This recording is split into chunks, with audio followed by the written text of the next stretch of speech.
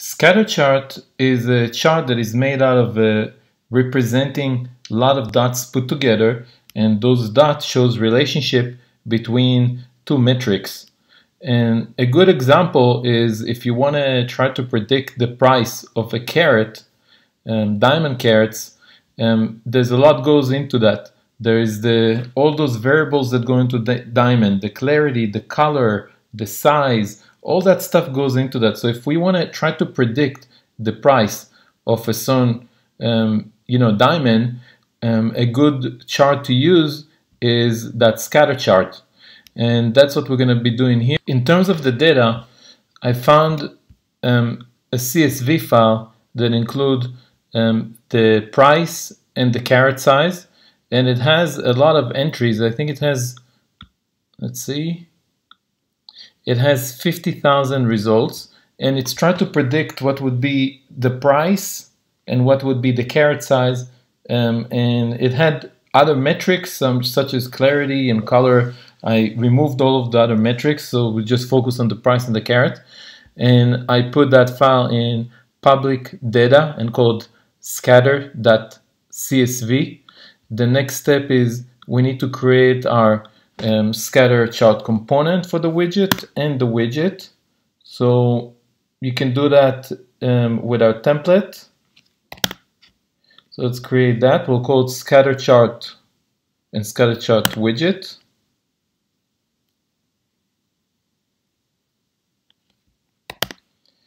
And then don't forget to um, add an entry point. We'll call it we'll put the import scatter chart widgets. let's go into our scatter chart widget and clean that up. And we need to add the scatter chart chart itself component, right? Just like we always do. And we're to load our file is CSV, so we don't need the, to load the JSON. We can remove that. Here's our scatter chart. Then we need to point to our data scatter.csv. So let's put it in our loader. And let's see what else. And we need to set the helper.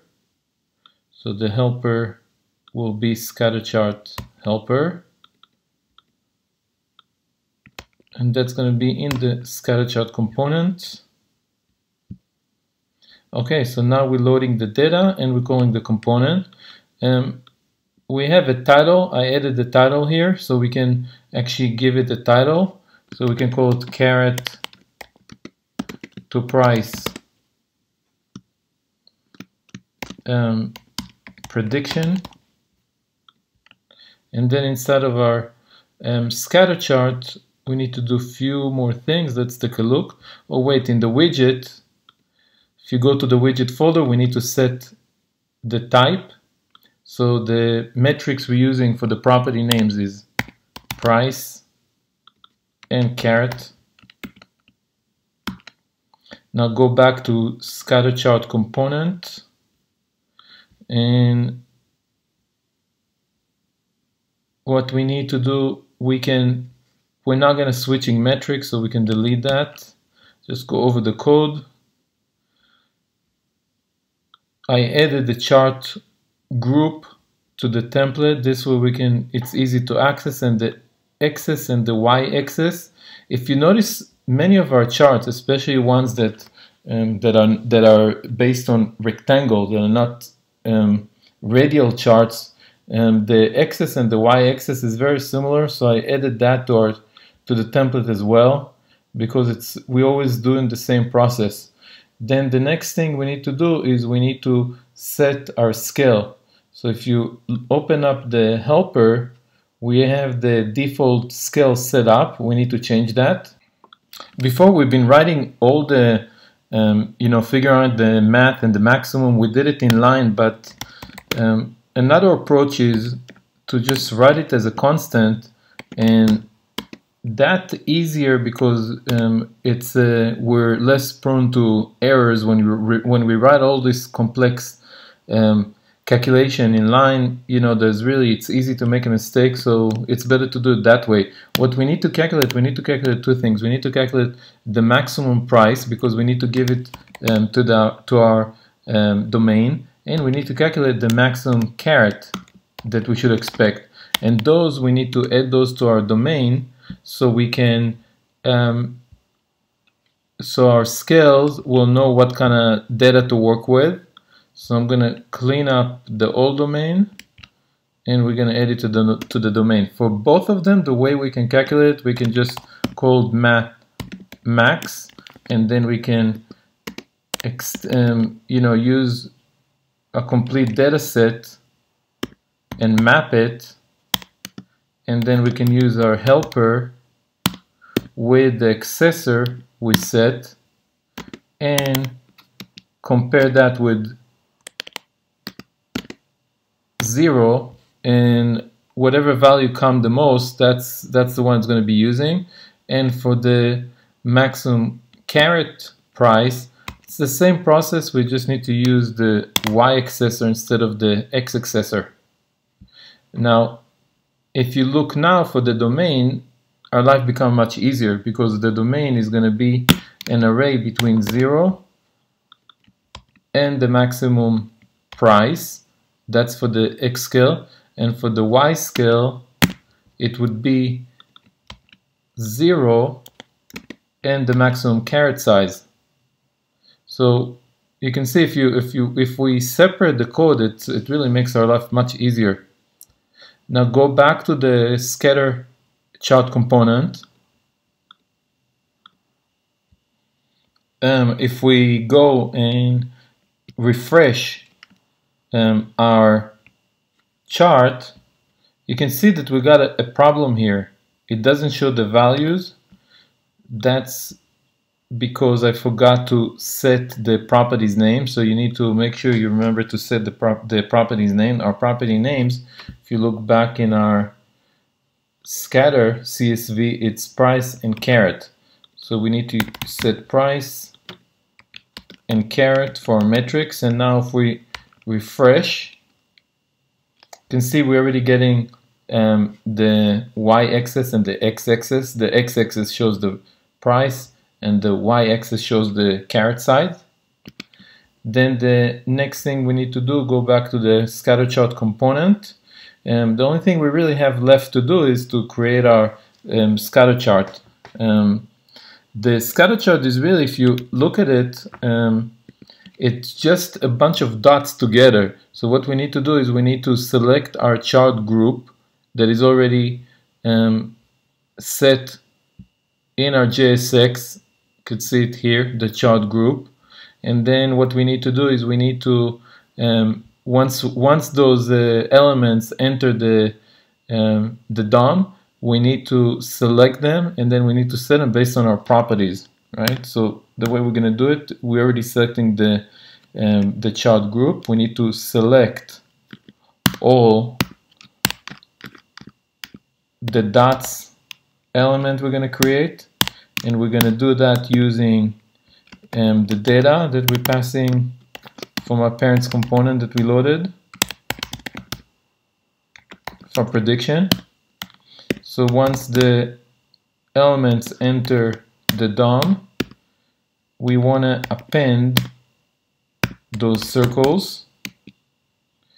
And then um, if you remember, when we work with circles, we can look at our cheat sheet. Um, we need to work with um, the CX, CY, and radius. So we need to set the X, Y coordinate and the radius, which is half of its width. So we need to set that up. So for the, we'll set it using the attribute. So we'll set CX and we'll set cy and we need to set the radius which is r for the radius is what's the size of each one of those dots I'll use 0.8 we can you can make it bigger and smaller and see um, how it's going to look like so we can adjust that. Now for the um, for the CX and CY we're going to use the data that we're passing in. We'll do the same for both of them, the CY and CX. And um, for the CX we, use, we need to use the X scale using d dot price. And for the y cy we need to use d dot um, let's see. I think it was carat. Yeah um, carat. You could see that TypeScript doesn't like that we're not specifying what kind of type it is. So um, we can either ignore that or a better approach is just to cast it as our types data. And once we cast it to the type data we can select price. We need to take that out and it's still complaining because our data we set it with a question mark so it could be um, not defined so what we need to do is we need to um, cast it as number to make sure it's going to return something. Let's see.